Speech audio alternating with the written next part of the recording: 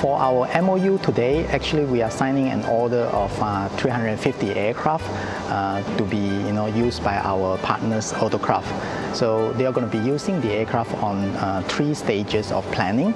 The first stage is uh, in Abu Dhabi and the surroundings. Second stage is from Abu Dhabi to the entire UAE.